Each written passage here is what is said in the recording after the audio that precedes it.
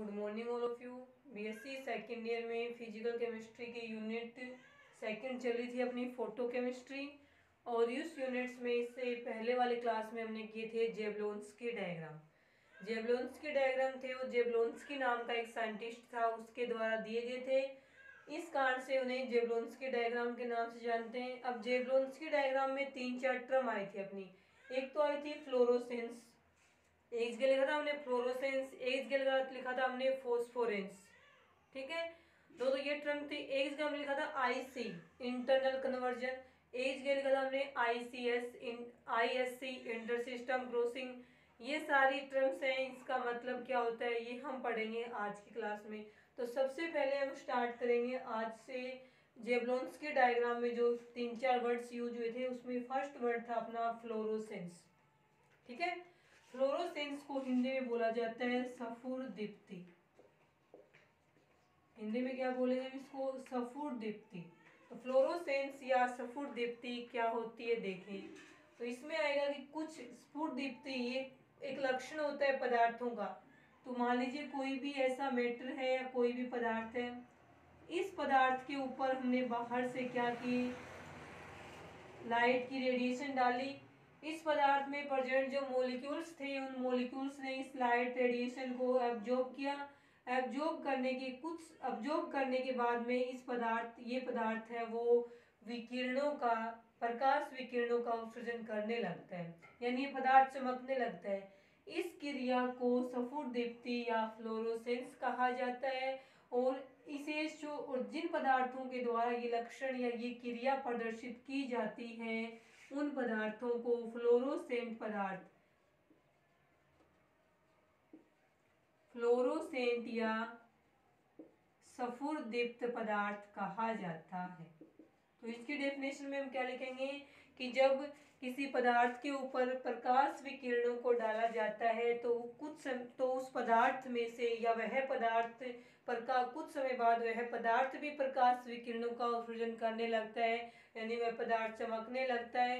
यह घटना यह क्रिया सफुर दीप्ति फ्लोरोसेंस कहलाती है और इसे प्रदर्शित करने वाले पदार्थ वो क्या कहलाएँगे? यानी जिन पदार्थों के द्वारा ये प्रक्रिया या घटना दर्शाई जाती है उन्हें फ्लोरोसेंट या दीप पदार्थ कहेंगे। अब दूसरा वर्ड था फोस्फोरेंस उसमें भी सेम यही होगा, प्रकाश का उत्सर्जन करेंगे, लेकिन उसमें और इसमें जो डिफरेंस होता है वो पढ़े यहाँ पे। देखें, कोई मोलिक्यूल्स था ए उस मोलिक्यूल्स ने क्या किया? एच न्यू फोटोन को, प्रकाश विकिरणों में फोटोन प्रेजेंट है। इसको फोटोन को अवशोषित किया तो ये मोलिक्यूल्स क्या हो गया? एक्साइटेड हो गया। एक्साइटेड हो गया, यानी ये मोलिक्यूल्स ने क्या किया? ऊर्जा को ग्रहण किया अवशोषित किया। तो ये पदार्थ एक्साइटेड स्टेट में आ गया इसके एक्साइटेड स्टेट में आने का मतलब ये है कि इस पदार्थ में प्रेजेंट जो इलेक्ट्रॉन्स होते हैं, वो लो एनर्जी से इस होटोन की एनर्जी को लेकर के हाई एनर्जी लेवल पे चले जाएँगे। अब हाई एनर्जी लेवल पे वो इलेक्ट्रॉन्स क्या होता है? अनस्टेबल होता है, क्योंकि ऊर्जा विद कर्मानुपाती स्थायित्व होता है। तो हाई एनर्जी लेवल पे वो इलेक्ट्रॉन अस्थायी था। तो इलेक्ट्रॉन स्थायित्व प्राप्त करने के लिए क्या करेगा?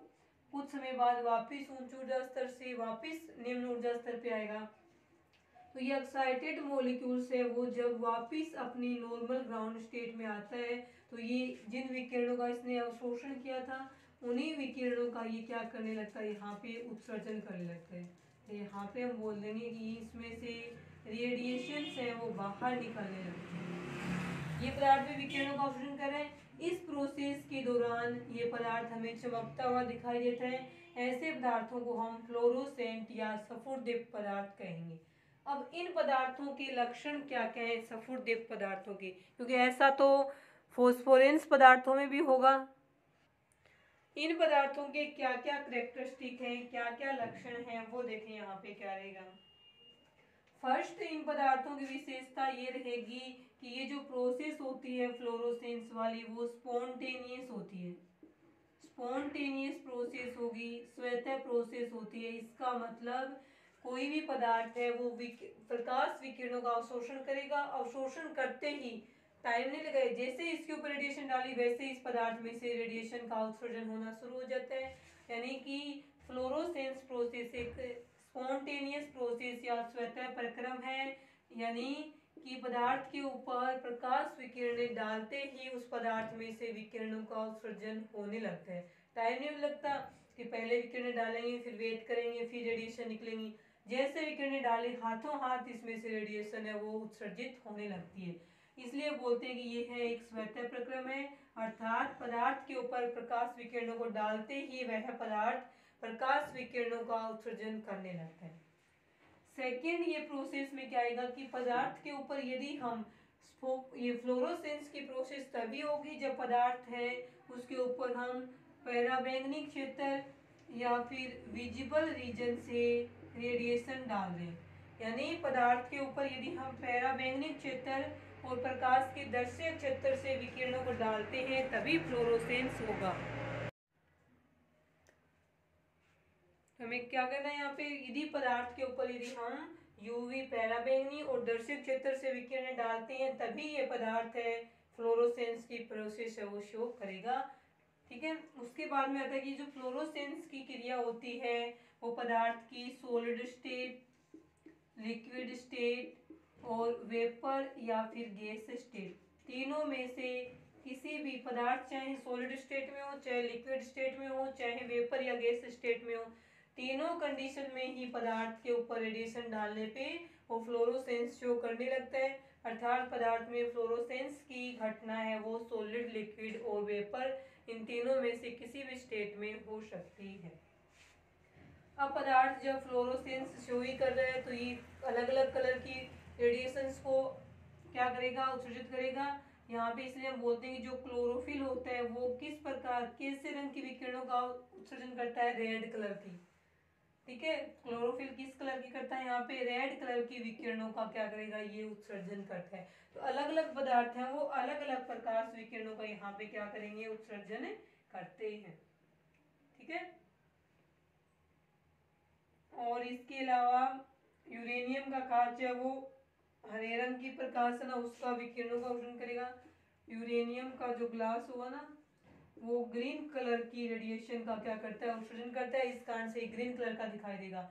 एक विशेषता और है, सफुरदीप्त वाली, वो क्या रहेगी कि इसका यदि हम इससे जो विकिरणें उत्सर्जित हो रही हैं, उन विकिरणों को यदि हम मोनोक्रोमेटर डिटेक्टर रिकॉर्डर इन सभी में ले जाएँ तो हमें एक स्पेक्ट्रम प्राप्त होगा और स्पेक्ट्रम कैसा होता है, इसका लीनियर स्पेक्ट्रम है और बैंड स्पेक्ट्रम वहाँ पे प्राप्त होगा।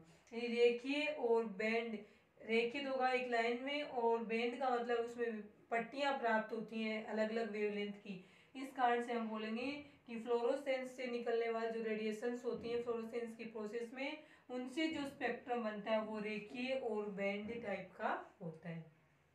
ये हो जाएँगे इसमें फ्लोरोसेंस या सफुट पदार्थ हैं, उनके लक्षण। ये ये करेक्टरिस्टिक यदि उसमें पाए जाते हैं तो ये एक और इसका, यदि हम इस पदार्थ पे से जैसे ही लाइट सोर्स या प्रकाश विकिरणों का उत्सर्जन बंद कर दिया। हाथों हाथ इस पदार्थ में से विकिरणों का उत्सर्जन बंद हो जाएगा। यानी इसमें होता क्या है जैसे ही पदार्थ के ऊपर प्रकाश विकिरण डालेंगे, हाथों हाथ उसी समय क्या होगा? पदार्थ में से विकिरणों का उत्सर्जन होना शुरू हो गया। अब हम यहाँ से यदि लाइट रेडिएशन को डालना बंद कर दें या फ़ोटो सोर्स को, प्रकाश स्रोत को हटा दें, हटाते ही इसमें से विकिरणों का उत्सर्जन होना भी बंद हो जाएगा। ये प्रोसेस होती है। फ्लोरोसेंस और फोस्फोरेंस में यही डिफरेंस होगा। तो फ्लोरोसेंस की डेफिनेशन में हम ये भी ऐड कर सकते हैं कि जब किसी पदार्थ के ऊपर लाइट रेडिएशन को डाला जाता है तो उस पदार्थ में से रेडिएशन का उत्सर्जन होने लगता है। और रेडिएशन का और प्रकाश स्रोत को हटाते ही उस पदार्थ में से रेडिएशन का उत्सर्जन है, वो बंद हो जाता है। और इस पदार्थ के ऊपर डाली गई विकिरणें हैं, उनकी वेवलेंथ और इस पदार्थ में से निकलने वाली विकिरणों की वेवलेंथ है, वो सेम भी हो सकती है और डिफरेंट भी हो सकती है। आगे समझ में? ये रहेगा फ्लोरोसेंस या सफुर देवते सफुर देवती और सफुर देवते पदार्थ। उसके बाद नेक्स्ट देखें सेकंड नंबर पे फोस्फोरेंस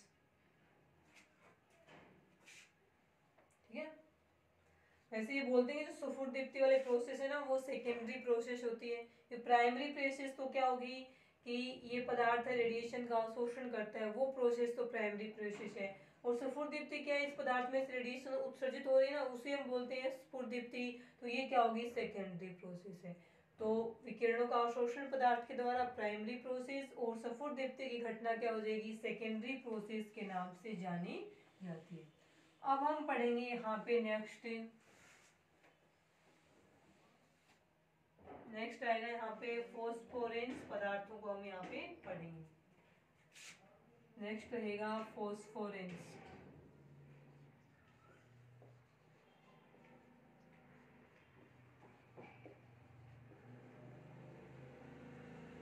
ठीक है? देखिए फोस्फोरेंस को हिंदी में क्या बोलते हैं हम? प्रतिदीप्ति। प्रति दीप्ति ठीक है? और वे पदार्थ जो इस प्रतिदीप्ति या फोस्फोरेंस को शो करेंगे, उन्हें हम क्या बोल देंगे? फोस्फोरेसेंट पदार्थ। उनको बोल देंगे फोस्फो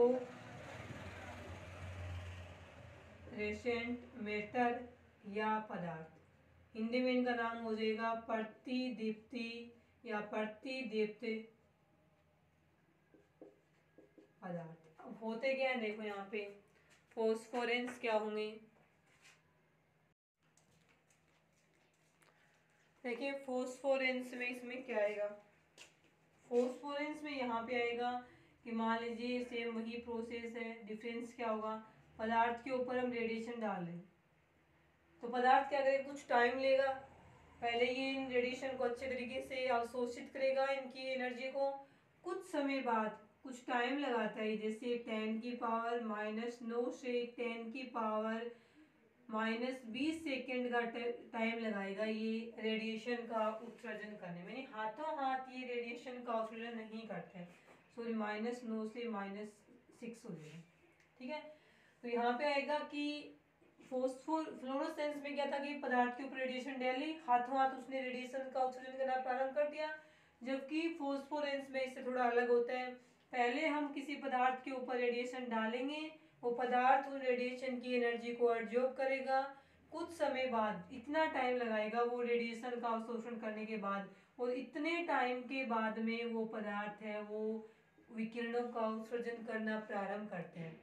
फिर मान लीजिए हमने यहाँ से लाइट सोर्स को हटा दिया। हटा दिया इसे रेडिएशन डालनी बंद कर दी। तो इस पदार्थ में से हाथों हाथ विकिरणों का उत्सर्जन बंद नहीं होगा। फिर इतना ही टाइम वो फिर लगाएगा।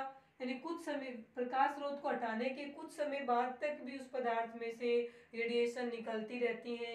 यानी कुछ समय बाद तक उस पदार्थ में से विकिरणों का उत्सर्जन जारी रहता है कंटिन्यू रहता है। यही डिफरेंस होता है फ्लोरोसेंस और फोस्फोरेंस में। फ्लोरोसेंस में क्या था? रेडिएशन डाली, हाथों हाथ उत्सर्जन स्टार्ट हो गया रेडिएशन का। इसको हटाते ही यहाँ से ये बंद हो गया। जबकि फोस्फोरेंस में क्या होता है कि रेडिएशन डालने के कुछ समय बाद इस पदार्थ में से रेडिएशन का उत्सर्जन स्टार्ट होगा और इस प्रकाश स्रोत को हटाने के कुछ समय बाद तक इन रेडिएशन का रेडिएशन का उत्सर्जन है वो जारी रहता है। रेडिएशन उत्सर्जित होती रहती है। तो ये घटना कहलाती है फोस्फोरेंस या प्रतिदीप्ति के नाम से जानी जाएगी और इस घटना को शो करने वाले पदार्थ हैं वो फोस्फोरेसेंट या प्रतिदीप पदार्थों के नाम से जाने जाते हैं। उसके बाद में आती है इसके अंदर। कि इसके लक्षण क्या क्या है? फोस्फोरेंस के। तो इसमें आएगा कि यह पदार्थ की केवल सॉलिड स्टेट में ही शो होती है। पदार्थ की जबकि फ्लोरोसेंस क्या था? पदार्थ की तीनों अवस्थाओं में प्रदर्शित हुई थी, होती है, जबकि फोस्फोरेंस केवल पदार्थ की सॉलिड स्टेट के द्वारा प्रदर्शित किया जाएगा। और इस इन पदार्थों पर रेडिएशन या विकिरण डालते ही उस पदार्थ में से रेडिएशन का इमिशन या उत्सर्जन स्टार्ट नहीं होता है। यानी कुछ समय बाद है उस पदार्थ में से रेडिएशन का इमिशन है वो स्टार्ट होगा। सेकंड दो होगी करेक्टरिस्टिक थर्ड आएगा कि यदि किसी पदार्थ के ऊपर हम वायलेट लाइट की रेडिएशन या फिर अल्ट्रा वायलेट की रेडिएशन डालें, तभी इस पदार्थ में से रेडिएशन का उत्सर्जन होगा। जबकि फ्लोरोसेंस में क्या था? उसमें हमने क्या किया था कि चाहे यूवी रीजन के डालें, चाहे विजिबल के डालें, दोनों ही कंडीशन में उस पदार्थ में से रेडिएशन है, वो निकलना स्टार्ट हो जाते हैं। जबकि इसमें केवल वायलेट या अल्ट्रा वायलेट रीजन से ही रेडिएशन है, वो निकलेंगे तीन विशेषताएँ होगी। फोर्थ विशेषताओं में इसके अंदर क्या आएगा कि जो फ्लोरो फॉस्फोरेंस पदार्थ होते हैं, यदि कई पदार्थों को आपस में मिक्स कर दिया जाए तो उस पदार्थ में से निकलने वाली जो विकिरण हैं वो अलग अलग रंग की हमें प्राप्त हो सकते हैं। कई सफुरदीप पदार्थों के मिलाने से हमें कई प्रकार के रंग है, वो प्राप्त कर सकते हैं। अब आएगा कि इन रेडिएशन को शो करने से पहले और इन रेडिएशन को शो करने के बाद यदि इस पदार्थ के हम मैग्नेटिक प्रॉपर्टीज़ चेक करें, इसका डाइलेक्ट्रिक कॉन्सेंट मैग्नेटिक प्रॉपर्टीज़ में हम डाइपोल मोमेंट चेंज कर चेक करेंगे और डाइलेक्ट्रिक कॉन्स्टेंट में हम उसका अपसाइलन चेक करेंगे। तो जब इस पदार्थ के ऊपर रेडिएशन नहीं डाली थी, उस समय इसकी मैग्नेटिक प्रॉपर्टीज़ और डाइलेक्ट्रिक कॉन्स्टेंट और पदार्थ के ऊपर मैग्नेटिक सॉरी पदार्थ के ऊपर रेडिएशन डालने के बाद में जब इसने रेडिएशन का इमिशन किया सफुर देवते की घटना हुई, उसके बाद में हम इस, यदि इस पदार्थ का मैग्नेटिक मोमेंट या इसका डाई इलेक्ट्रिक कॉन्स्टेंट चेक करें तो उन दोनों के मान में चेंज हो भी सकता है और नहीं भी हो सकता है, दोनों ही कंडीशन यहाँ पे बने। ये थे सफुट प्रतिदेव पदार्थ और पहले वाले थे सफुरदेव पदार्थ। इन दोनों में डिफरेंस लिखें तो भी तीन चार विशेषताएँ उसके बेस पे हम इन दोनों में डिफरेंस है, वो लिख सकते हैं। ये थे आपके जेबलोन्स के डायग्राम में जो हमने यूज़ किए थे फोस्फोरेंस और फ्लोरोसेंस दोनों वर्ड उसके बाद में हम नेक्स्ट देखेंगे यहाँ पे जो लिखे थे ना हमने इंटर सिस्टम क्रॉसिंग वाला, और एक था यहाँ पे इंटरनल चेंज किया था, इन दोनों को हम पढ़ेंगे तो पहले हम पढ़ेंगे यहाँ पे इंटर इंटरनल कन्वर्जन जो जेबलोन्स की डायग्राम में यूज़ किया था ना तो पहले तो हम ये देखेंगे इसमें रेडिएटिव प्रोसेस क्या होगी। ये भी एक नाम आया था उसमें रेडिएटिव प्रोसेस रेडिएटिव प्रोसेस में हमने क्या लिखा था? इसमें हमने लिखा था, इस प्रकार से इसको शो किया था। यानी जब कोई भी इलेक्ट्रॉन्स है, वो, या फिर कोई भी मोलिक्यूल्स है, वो एक स्टेट से दूसरी स्टेट में आता है तो एक स्टेट से दूसरी स्टेट में आते समय यदि वो मोलिक्यूल्स या इलेक्ट्रॉन विकिरणों का उत्सर्जन करता है, तब हम बोलेंगे कि वो एक रेडिएटिव प्रोसेस है, या हिंदी में इसका नाम रहेगा यहाँ पे विकर्णी प्रक्रम। तो विकर्णी प्रक्रम दर्शाते हुए कोई भी मोलिक्यूल्स या इलेक्ट्रॉन एक स्टेट से दूसरी स्टेट में आता है, तब हम क्या कहेंगे उसको कि यहाँ पे विकर्णी प्रक्रम हो रहा है। विकर्णी प्रक्रम में दो प्रकार का था, जो भी पढ़ा था हमने, एक तो होगा इसके अंदर फोस्फोरेंस और एक होगा यहाँ पे फ्लोरोसेंस ये तो होता है ना फ्लोरोसेंस और फोस्फोरेंस के अंदर.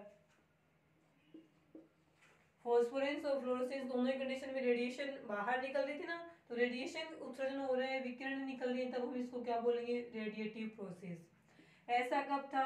जब मोलिक्यूल्स है वो कहाँ से कहाँ आएगा? मोलिक्यूल्स यदि प्रथम सिंगलेट स्टेट से, फ़र्स्ट सिंगलेट स्टेट में ज़ीरो से, ज़ीरो सिंगलेट स्टेट में आते हैं, या फिर पदार्थ है वो फ़र्स्ट ट्रिपलेट स्टेट में से ग्राउंड स्टेट की सिंगलेट स्टेट में आता है तो इन दोनों ही कंडीशन में रेडिएटिव प्रोसेस होती है, विकिरणें उत्सर्जित होती हैं, उसमें से एक थी फोस्फोरेंस और एक को हमने नाम दिया था फ्लोरोसेंस दीप्ति और दीप्ति इस कंडीशन में होगा इसके अलावा जो कंडीशन बच गई थी, जिसमें इलेक्ट्रॉन एक स्टेट से दूसरी स्टेट में आए थे, वो सारी क्या कहला रही थी? वहाँ पे नॉन रेडिएटिव प्रोसेस कहलाएँगे। तो रेडिएटिव प्रोसेस जिसमें विकिरणों का उत्सर्जन होगा, दो प्रकार की थी। प्रथम सिंगलेट से ग्राउंड स्टेट सिंगलेट में आए, और प्रथम ट्रिपलेट से ग्राउंड स्टेट की सिंगलेट आए। दोनों ही रेडिएटिव प्रोसेस थी, जो कि फोस्फोरेंस और फ्लोरोसेंस के माध्यम से वहाँ पे हो रही थी। ये रहेगा इसका रेडिएटिव प्रोसेस रेडिएटिव प्रोसेस के बाद में नेक्स्ट पढ़ेंगे हम नॉन रेडिएटिव प्रोसेस ये जो आईसी था इंटरनल कन्वर्जन और आईएससी था इंटर सिस्टम कन्वर्जन था इंटर सिस्टम क्रॉसिंग था, ये दोनों नॉन रेडिएटिव के पार्ट हैं. नेक्स्ट पढ़ेंगे हम non radiative process non radiative process Hindi में नाम रहेगा इसका अविकरणी प्रक्रम। नॉन रेडिएटिव प्रोसेस को हम क्या बोलेंगे? अविकरणी प्रक्रम। अविकरणी प्रक्रम क्या मतलब है कि जब कोई भी इलेक्ट्रॉन्स एक स्टेट से दूसरी स्टेट में आए तो एक स्टेट से दूसरी स्टेट में आते समय यदि वो इलेक्ट्रॉन रेडिएशन का उत्सर्जन नहीं करे तो अपनी वो ऊर्जा किस किसके माध्यम से उत्सर्जित करेगा, किसके रूप में उत्सर्जित करेगा? तो हम कहेंगे कि यदि इलेक्ट्रॉन एक स्टेट से दूसरी स्टेट में आते समय अपनी जो एक्स्ट्रा एनर्जी थी उसको हीट के रूप में बाहर निकाल दे तो उसे हम क्या बोलेंगे कि वो नॉन रेडिटिव प्रोसेस शो करे। रेडिएशन तो नहीं निकालना। अपनी ऊर्जा को यदि वो रेडिएशन के फॉर्म में निकालेगा, तब तो कहेंगे रेडिएटिव प्रोसेस हो रही है, विकर्णी प्रक्रम हो रहा है। यदि वो अपनी एक्स्ट्रा एनर्जी को हीट के रूप में बाहर निकाल रहा है तब हम कहेंगे कि क्योंकि हीट तो शो नहीं होती, वहाँ पे दिखती नहीं है हमें। तब हम क्या बोलेंगे, वहाँ पे नॉन रेडिएटिव प्रोसेस हो रहा है। और इसके जो दो टाइप थे नॉन रेडिएटिव के, एक तो था इंटरनल कन्वर्जन और एक था यहाँ पे इंटर सिस्टम क्रॉसिंग इन दोनों में ही क्या होता है नॉन रेडिएटिव प्रोसेस होता है। यानी एक्स्ट्रा एनर्जी है, वो रेडिएशन के रूप में रिलीज़ ना हो करके हीट के रूप में या उष्मा के रूप में यहाँ पे रिलीज़ होती है। अब इंटरनल कन्वर्जन क्या है? और इंटर सिस्टम क्रॉसिंग क्या है, ये हम यहाँ पे पढ़ेंगे। तो फ़र्स्ट इसमें लिखे आप इंटरनल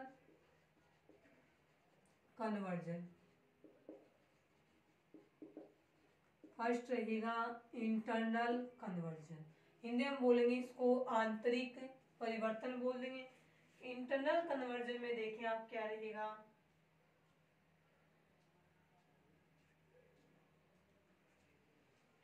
इसमें यह आएगा कि यदि मोलिक्यूल्स है वो सेकंड ग्राउंड स्टेट या फिर थर्ड ग्राउंड स्टेट से किसमें आए? फ़र्स्ट ग्राउंड स्टेट में आता है। और साथ में अपनी एक्स्ट्रा एनर्जी को हीट के रूप में बाहर निकालता है। तो ये प्रोसेस क्या है? इंटरनल कन्वर्जन इंटरनल कन्वर्जन का मतलब है सेम सेम स्टेट से सेम स्टेट में आना। सिंगलेट से सिंगलेट में आना।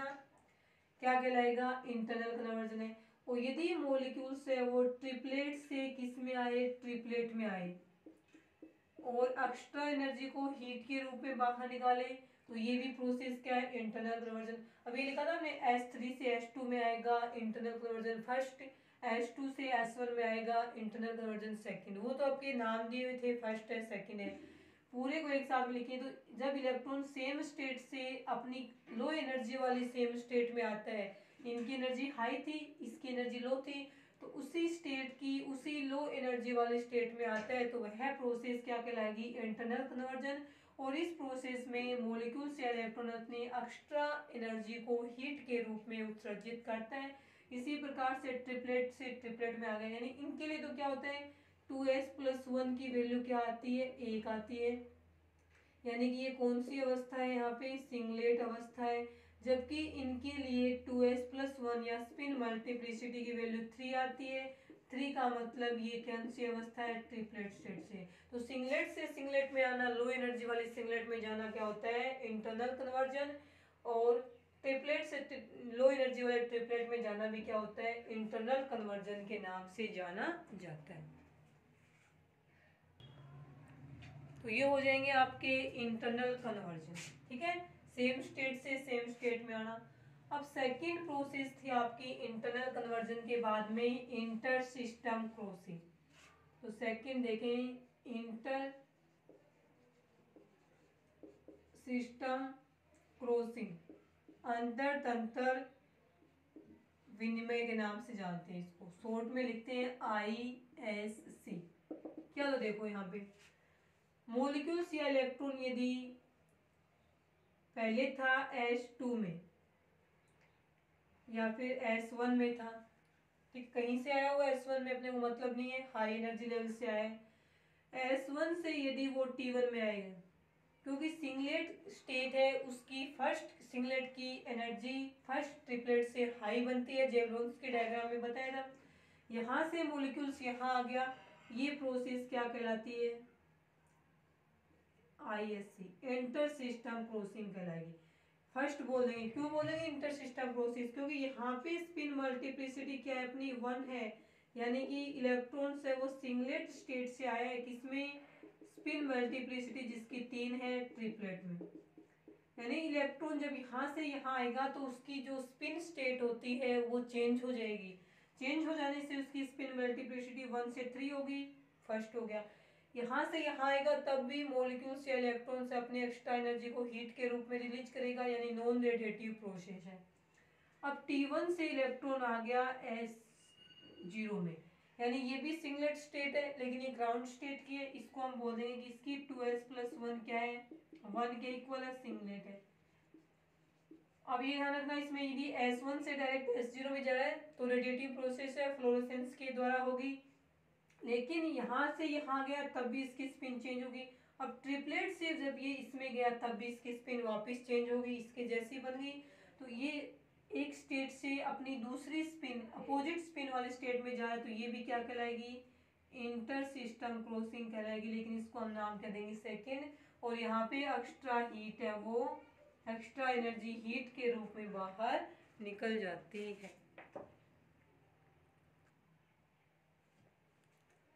तो ये process second inter system crossing हो गया यानी एक स्टेट से डिफरेंट स्टेट में जा रहा है। यहाँ से डिफरेंट सिंगलेट में आ रहा है। तो ये क्या कहलाएँगे? आपकी इंटर कन्वर्जेंस कहलाएगी। ये भी नॉन रेडिटिव प्रोसेस है। या, यानी इसमें भी इलेक्ट्रॉन्स है वो अपनी एक्स्ट्रा एनर्जी को हीट के रूप में रिलीज़ करता है। अब देखें यहाँ पे एक जनरल फॉर्मूला है वो देखें यानी पदार्थ करता क्या है वो देखें आप। मान लीजिए किसी भी पदार्थ में दो ये एनर्जी लेवल्स हैं, यहाँ पे इलेक्ट्रॉन्स प्रजेंट हैं। दोनों इलेक्ट्रॉन्स क्या है? इस प्रकार से एक ही स्टेट में है। तब हम क्या लिखेंगे कि यहाँ से क्या है इसका?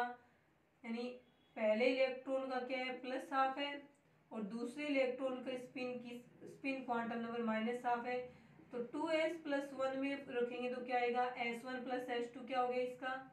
तो S one plus S two है इसका, किसके इक्वल हो गया? ज़ीरो के। Plus half minus half cancel zero जो कैपिटल एस ज़ीरो है इसका। ये ये जो है वो क्या है? कैपिटल एस है। ज़ीरो को दो से गुणा के ज़ीरो एक आ गया। एक आ गया इसका मतलब कौन सी स्टेट है? सिंगलेट स्टेट अब हमने क्या किया? इस प्रकार से ये पदार्थ है। इस पदार्थ को हमने क्या किया? रेडिएशन डाली। रेडिएशन डालेंगे तो ये पदार्थ हीट का क्या करेगा? एडजॉर्प्शन करेगा। यहाँ पे भी इस पदार्थ में हम सेम हीट डाल रहे हैं। दो प्रकार की कंडीशन हो सकती है। हो सकता है कि इस पदार्थ के लो एनर्जी लेवल में प्रजेंट जो इलेक्ट्रॉन्स हैं, ये इलेक्ट्रॉन्स हाई एनर्जी लेवल्स में जाते समय क्या कर सकता है? हो सकता है ये स्पिन एक इलेक्ट्रॉन जब यहाँ से इस रेडिएशन से एनर्जी को एब्जॉर्ब करके इस लेवल में जाएगा, इस एनर्जी लेवल्स में, इस ऑर्बिटल में जाएगा तो हो सकता है इसका स्पिन चेंज हो जाए, हो सकता है सेम स्पिन रहे। दो प्रकार की कंडीशन बनती हैं। एक इलेक्ट्रॉन तो यहाँ ही रहेगा और दूसरा इलेक्ट्रॉन यहाँ आएगा। एक का स्पिन यही है, दूसरे का स्पिन हो सकता है चेंज हो गई, इस प्रकार से बन जाए। इसी प्रकार से यहाँ पे एक का स्पिन यही रहेगा और दूसरे का भी हो सकता है स्पिन चेंज हो जाए। यहाँ पे तो चेंज नहीं हुआ ना, एक का थे ये, इस स्पिन में था सेम ये सही चला गया, जब यहाँ गया तो स्पिन चेंज हो गया। अब हम बोलेंगे कि यहाँ पे S1 तो क्या है प्लस हाफ़ है, और S2 भी क्या है, यहाँ पे प्लस हाफ़ है। दोनों इलेक्ट्रॉन स्पिन सेम है तो टोटल कैपिटल एस क्या है? S one plus S two तो plus one plus half plus half जुड़ करके एक बनेगा spin multiplicity two S plus one check करें तो दो को एक से गुणा किया एस की जगह एक रखेंगे? दो, और एक तीन, यानी ट्रिपलेट स्टेट में आ गया। तो सिंगलेट से रेडिएशन का एब्जॉर्प्शन करके वो हो सकता है ट्रिपलेट में आ जाए, और यहाँ पे क्या है? एस वन इस इलेक्ट्रॉन का, इसका देखें एस वन प्लस हाफ़ है। और टू है इस इलेक्ट्रॉन की स्पिन तो ये क्या है? माइनस हाफ़ है। टोटल एस क्या रहेगी? S one plus S two तो प्लस हाफ़ माइनस हाफ़ है। प्लस में माइनस हाफ़ करेंगे तो ये माइनस में आ जाएगी पूरी वैल्यू ज़ीरो आ जाएगा कैंसिल हो गया। तो टू एस प्लस वन में एस की जगह ज़ीरो रखेंगे तो आएगा एक। एक का मतलब स्टेट क्या है? सिंगलेट स्टेट है। अब देखो, दो प्रकार से चेंज हो सकते हैं। सभी पदार्थों के लिए जनरल है। कि एक पदार्थ है जो पहले से पहले से सिंगलेट स्टेट में था तो ये रेडिएशन का एब्जॉर्प्शन करके हो सकता है। स्पिन चेंज नहीं हो इलेक्ट्रॉन की हाई एनर्जी लेवल में जाते समय स्पिन चेंज नहीं होगी, तब तो ये सिंगलेट का सिंगलेट में रह जाएगा। स्पिन चेंज हो जाएगी, तब ये सिंगलेट से ट्रिपलेट में आ सकता है, ठीक है? इस प्रकार से इसमें स्पिन है, वो चेंज होती है, यानी सिंगलेट ट्रिपलेट है, वो इस प्रकार से बनेंगे, ठीक है? ये हो गया आपके जो चार नाम आए थे जेब्रोन्स के डायग्राम में आईसी आईएससी और फ्लोरोसेंस और फोस्फोरेंस